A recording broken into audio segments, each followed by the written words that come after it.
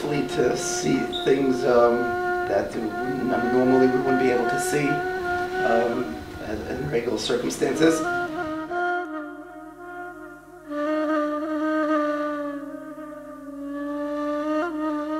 For me, being in Israel, it's it's not verbally describable because it's just something that I feel so powerfully. Um, just walking through the streets, I just feel uh, an amazing connection to God. Like there's a direct path.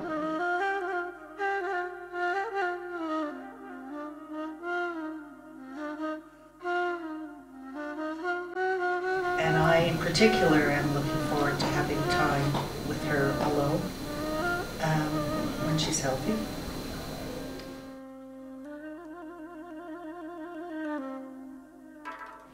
We had a pretty hard year last year, and uh, we're just here because we're just so grateful.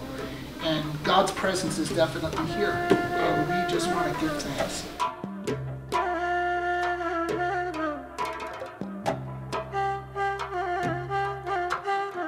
and to have fun and to know that she's healthy and everybody's going to be the same and we are going to continue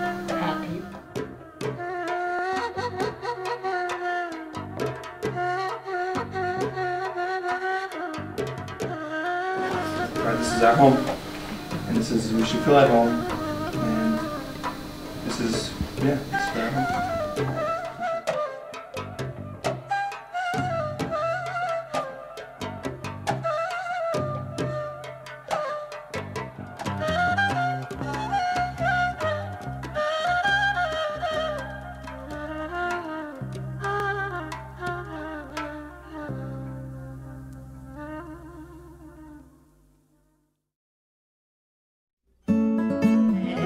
here in Israel where where the Jewish people belong. It's really really amazing and there's a spirit and the certain style of life here that doesn't compare to to anything else that I've ever seen or felt. And just walking through the country and seeing everything it's really amazing privileged to have our children well enough that we can make a long trip like this and for us it's the first time to Israel and uh, you read a lot about a place and you can't imagine that it could actually be that way and you get here and it is. Uh, it's a special place and you can see that just by the people on the street and the way they talk to each other and the people in our group it makes it that much more special. It's about meeting new people. Uh, it's about seeing Israel for the first time and you know developing a passion for the land, for the people here, and seeing the, the cultures here and how people live their lives. I really just felt amazingly invigorated. I just felt, I don't know, I feel really good. I feel much different. I feel like there's a whole world like ahead of me. I just feel really good about everything and I just feel like I appreciate everything more.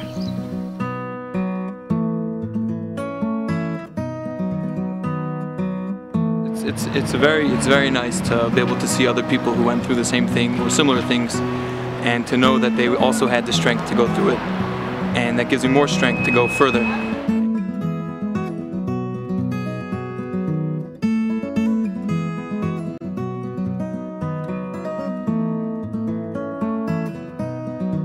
Even though someone's sick, he could still enjoy himself after and still be a regular person and enjoy himself. Trip was a journey. It was a journey for people going beyond themselves, or going into themselves, and and for discovering things that they never knew about themselves before. And it was something that uh, was unique, a diverse family that came together, and there's, there's nothing in between them, and there's there's no wall separating them.